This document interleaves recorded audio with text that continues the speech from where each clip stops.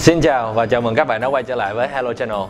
Như các bạn đã biết, cách đây không lâu Apple đã cho ra mắt sản phẩm mới của mình là iPad 2018 Và một điều đặc biệt trên chiếc iPad 2018 này là nó có hỗ trợ Apple Pencil giống như trên iPad Pro. Và hôm nay mình sẽ giới thiệu các bạn về cách kết nối và hướng dẫn sử dụng Apple Pencil trên iPad 2018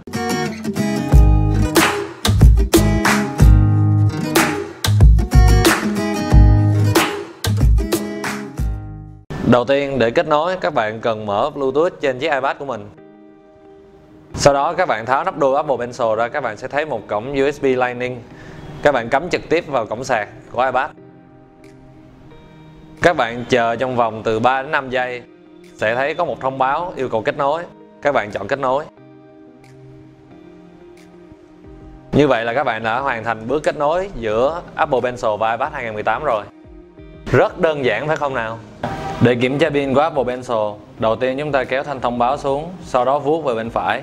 Lúc này chúng ta sẽ thấy dung lượng pin của cả hai sản phẩm. Thời lượng pin của Apple Pencil có thể lên tới 12 tiếng và sạc nhanh chỉ khoảng trong 30 phút. Để sạc cho Apple Pencil thì có hai cách. Cách thứ nhất là sử dụng iPad để sạc cho Apple Pencil bằng cách là tháo nắp đuôi ra và gắn trực tiếp vào cổng sạc của Apple Pencil. Lúc này khi chúng ta kiểm tra về sử dụng lượng pin chúng ta sẽ thấy có một dấu hiệu là chiếc Apple Pencil đang được sạc.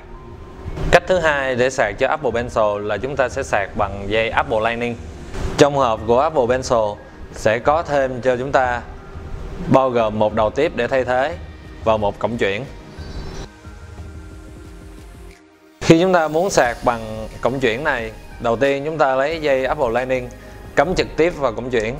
Sau đó sẽ cắm cái USB Lightning của Apple Pencil vào trong cổng chuyển này như vậy là chúng ta đang sạc do Apple Pencil bằng dây Lightning. Và nhân đây mình cũng sẽ giới thiệu với các bạn về cách thay thế đầu tiếp của Apple Pencil. Thì à, cách thay rất là đơn giản, các bạn chỉ cần vặn và tháo đầu tiếp ban đầu bình thường ra. Sau đó các bạn lắp đầu tiếp thứ hai vào và vặn ngược chiều ngược lại. Như vậy là chúng ta đã thay thế xong đầu tiếp của Apple Pencil. Sau khi kết nối Apple Pencil và iPad 2018 thì đầu tiên Apple Pencil có thể thay thế cho tay mình về việc vuốt sang trái hoặc sang phải màn hình và chọn các ứng dụng cơ bản đối với Apple Pencil thì hiện tại có rất nhiều ứng dụng để hỗ trợ cho việc viết nốt hoặc là vẽ. Thì ngay bây giờ mình sẽ vào thử Adobe Sketch là một phần mềm, một phần mềm vẽ.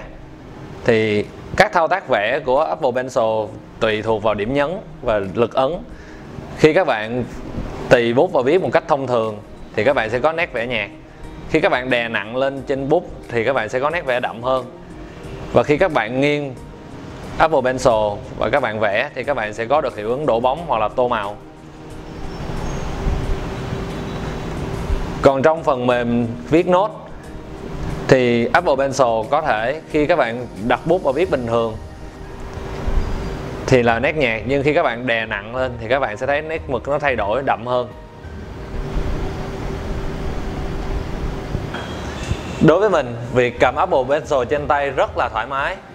Và việc sử dụng các thao tác trên Apple Pencil như viết hoặc vẽ là hầu như không có độ trễ. Và mình chắc chắn rằng đây là một sản phẩm rất phù hợp đối với các đối tượng là học sinh, sinh viên đang theo chuyên ngành thiết kế đồ họa hoặc là những anh chị văn phòng luôn dùng chiếc iPad của mình như một thiết bị hàng ngày mà cần phải viết lách. Mình đã để link của sản phẩm ở phía dưới và nếu các bạn yêu thích video này đừng quên like, share và subscribe cho Hello Channel để nhận được nhiều thông tin mới nhất đến từ Hello Channel. Và bây giờ xin chào và hẹn gặp lại các bạn trong những video lần sau.